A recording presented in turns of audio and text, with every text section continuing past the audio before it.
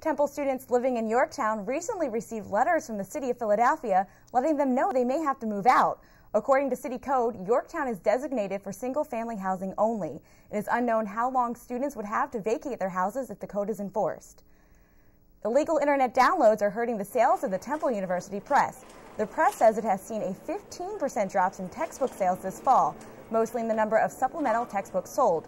Director Alex Holzman says if the press sees any of its material offered online without permission, it would seek a cease and desist order with help from the university attorney's office.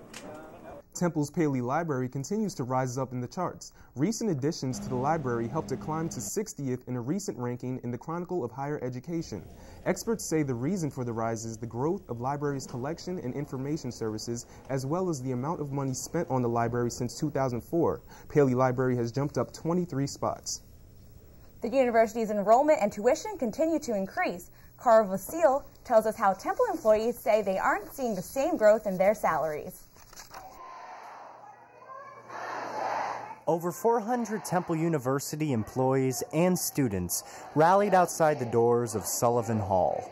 The Temple Association of University Professionals are demanding that Temple management negotiates a new contract reflecting a decent raise for every employee. We've been at the bargaining table speaking with Temple's negotiators for almost four months now, and we have not gotten very close in our bargaining, and we feel very, very concerned about where we are now. AFSCME, a union that has been without a contract for nearly a year, joined TAUP during the demonstration. So our members have gone without a raise uh, because they consider uh, fighting over an across the board raise as something worth fighting for. Temple wants to change the current merit system into a pay for performance plan. The vague and incomplete guidelines of the proposal have made many skeptical of the new system. That's going to get our, our staff and, and, our teachers fighting against each other.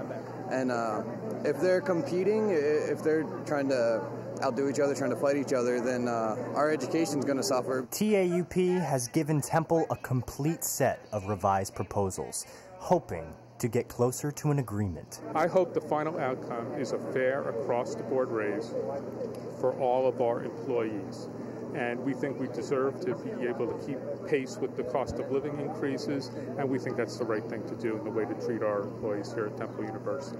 Temple's employees will continue to pressure the administration until a contract is presented that both parties agree on.